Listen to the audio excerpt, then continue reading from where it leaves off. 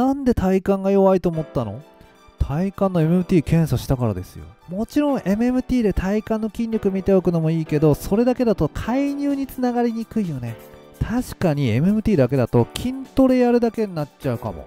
もちろん筋トレも大事だけど追加で検査しておきたいものがありますよね。それって結構皆さん忘れがちなはい今日はですね知らないとやばい肩麻痺の体幹攻略法ということでやっていきたいと思います。メンバーシップ一部公開してます。よかったら最後までご覧ください。肩麻痺の体幹って問題になるっていう人結構多いんですけどこれちゃんと理解して肩麻痺の体幹が問題なんだよねって言ってる人って結構少ないんですよね。なので今回そういった話やっていきます。で内容はこんな感じになってます。よく体幹が弱いって言うけどてんてんてんとか体幹には MMT ではなくてあれやった方がいいよねって話とか体幹側痛するにはこういう方法とこういう方法あります。それはなぜかというとという話とか臨床力アップするには体幹介入方法こうやった方がいいよねっていう、まあ、具体的で臨床的な話メンバーシップ後半やっていきたいと思います。で本題に入る前にちょっとだけ自己紹介させてください。僕は理学療法士約10年やってる脳卒中の認定理学療法士です。大派と YouTube チャンネルいいなと思ったらぜひチャンネル登録お願いいたします。でメンバーシップの方も始まりましてメンバーシップは脳卒中のリハビリ初心者卒業っていうのをテーマに月690円など1日約22円で入ります。概要欄のリンクからぜひご覧いただければと思います。というわけで早速本題になりますがよく体幹が弱いって言うけどっていう話ですね。でまあよく体幹弱いって言いますよね。でこの方何が問題なの？ねって言った時にいや体幹が弱いんですっていう人非常に多いですよね。体幹が弱いから歩行時に点々点とか体幹が弱くて起き上がりが点々点とか体幹が弱くて何々何みたいな、まあ、よくこの体幹が弱いって言うけどじゃあそもそも体幹って何なのっていう話ですよね。体幹って何かっていうのをちゃんと理解できていますかっていう話。ですいや体幹は体幹ですよと。体の幹のことじゃないですか。何が体幹って何ですかっていう人もいるかもしれませんがまあ、肩麻痺の方の体幹が弱いっていうのはどういうことなのっていうところをちゃんと詰められていますかっていう部分なんですよね。いや体幹が弱い弱い筋力とかなんですよ。っていう人もいるかもしれませんがじゃあなぜその体幹の力がうまく発揮できていないのか。もちろんねこれ筋力低下っていう場合もあるけどそれ以外の理由これもね結構たくさんあるんですよ。そこが抜けてる人って結構多かったりするんですよね。筋力以外の理由だよねっていうとえなんすかってなっちゃう人多いんですけどここねあの僕の動画でも何回か紹介してますが毛様体積髄路。毛様体積髄路っていうのは体幹と四肢の筋筋を調節しているって言われていて、まあ、メンバーシップでもですね毛様体積髄路についてがっつり、解説しますのでよかったらねご覧いただければと思いますが毛様体積髄路っていうのは毛様体積髄路のニューロンの多くはですね頸髄から線髄にまで軸索を投射していって頭頸部から体幹上下肢を支配する各髄節に軸索側視を送るっていうものなので、まあ、要するに頭頸部から体幹上下肢を支配している、まあ、特に体幹と四肢の筋筋って言われてますよね。なので燃えて脊髄量っていうのは起立とか歩行時の姿勢制御に深く関わるって言われていますよね。うん、で、まあ、もうて脊ロ姿勢制御についてはですね、こちらメンバーシップの動画で詳しく解説してます。APA ってね、ちょっと分かりにくい予測的姿勢制御なんかにも燃えて脊ロと深く関わっているので、まあ、合わせてこちら見ていただくと理解が深まると思いますが、要するに筋力だけではなくて、神経機構も考えないとダメだよねってことなんですよ。でそういうとですね、神経機構を考えるってどういうことってなっちゃう人もいるんですが、まあ、例えば体幹の筋力が弱いっていう視点だけだとどうでしょう？じゃあ体幹の筋力アップトレーニング中心に行おう。こんな運動いっぱいやろうってなる人、まあ、なりますよね。体幹の筋力が弱いっていうんでじゃあ筋トレやろうってこうなるじゃないですか。でも本当に強化したいのはこの姿勢のこの運動で使われる体幹の筋力なんだろうか。これちょっと疑問に思いますよね。このうんしょうんしょっていう腹筋。これを本当に強化したいのか。この姿勢のこの運動を本当に強化したいのか。体幹が問題ってみんなが言ってるのって歩行や起立の時の体幹の弱さですよね。なのでこの姿勢のうんしょうんしょっていう体幹腹筋運動やるってそこの姿勢で使われる腹筋を鍛えているだけで歩行とか起立につながってるのかなっていうのはちょっと疑問に思いますよね。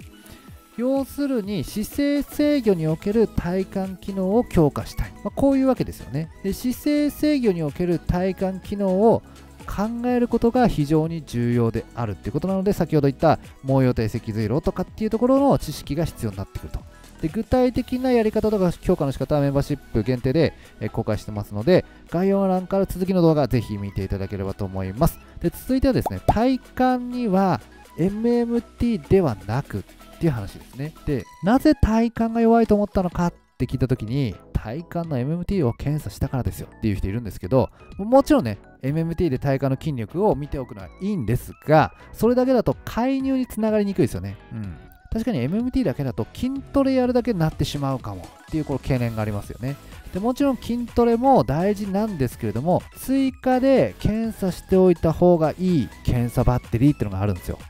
それ一つ今回は紹介しますがそれが FACTってやつですね。 Functional Assessment for Control of Trunk っていう検査でこれ FACTの特徴としてはですね治療上で用いることができる。治療介入思考的なんですよ。で、結果を点数化できるし、まあ、5分程度でね、まあ、慣れればま5分ぐらいで全然検査できちゃうものなんですよね。で、まあ、これ特徴としては、ファクトをベースに介入したら、下肢の支持性とか歩行スピードが向上して体幹が安定したよっていう研究もあったりとか、まあ、屋外の歩行術のカットオフ値はこのファクトの17点ぐらいだよっていう、まあ、これ文献によってもちょっと違いあるんですけど、まあ、そういったことが言われているような、まあ、結構普通に使われている体幹の検査バッテリーなんですよ。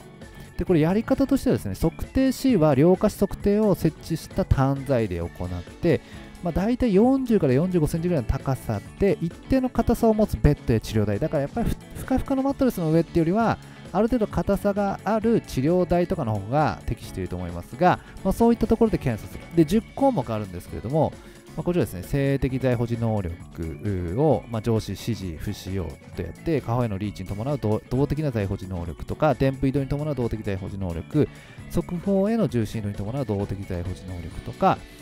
後半ですね、下肢居上に伴う動的在保持能力、両下肢居上に伴う動的在保持能力、で骨盤の前後移動とか、体幹回線とか、上肢居上とかっていった感じで動的の在保持能力を見ていくみたいな感じになってるんですよ。で、まあ、ファクトっていうのは最大能力測定するんで、3回実施して、同じ項目をね、3回実施した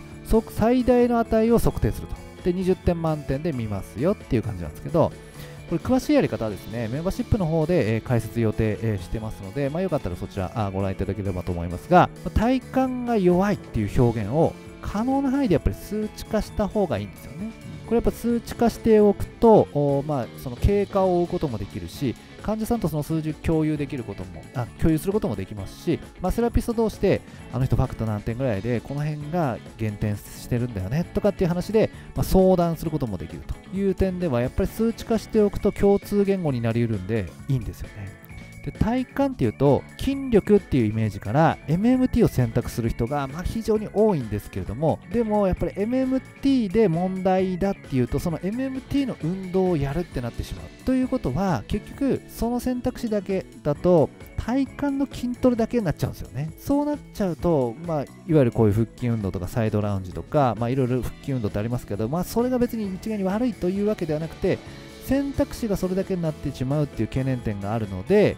なのでこういったファクトみたいなパフォーマンス検査取り入れると、まあ、これをベースにちょっと治療思考的なね検査になってるんででそこの減点項目ちょっとやってみようかなと。かでそこから基本動作とか起立方向につなげていこうかなっていうことができるので、まあ、こういったねファクトみたいな検査パフォーマンス検査をやってみると、まあ、そんなに時間もかかんないんで、これやってみるっていうのは一つ、この肩麻痺の体感っていうのを考える上では非常に重要になってきます。というわけで、えー、まとめていきますが、えー、この冊よく知らない、よく体感が弱いって言うけど、てんてんてんって話とか、体感には MMT じゃなくてファクトやろうよって話、ちょっとやっていきました。まあ、あの体幹が弱いってね結構言うんですけど体幹って、まあ、筋力もそうですが神経機構も大事で毛様体積ゼロとかっていう知識も大事で姿勢制御の知識もないとなかなかいい介入っていうのはできないですね。そういった、まあ、その筋力もそうだし神経機構毛様体積ゼロもそうだし予測的な姿勢制御っていう、まあ、非常にこういった難しい知識を合わせてそれを踏まえた上で体幹を側通するにはどうすればいいかとかそれを踏まえた上での体幹の介入方法っていうのはこの後メンバーシップ限定で続きの動画でやっていきますので、まあ、よかったら概要欄の方からですね、続きの動画見れるようになってるので、そちらからご覧いただければと思います。で、今ならですね、メンバーシップ入っていただいた方は、超過失装具のパワポっていうか、パワポじゃない、PDF ですね。で、資料が全部で126枚あるんですけど、それプレゼントしてますので、まあ、よかったらですね、この機会に、えー、メンバーシップご検討いただければと思います。では、最後まで聞いていただいてありがとうございました。失礼いたします。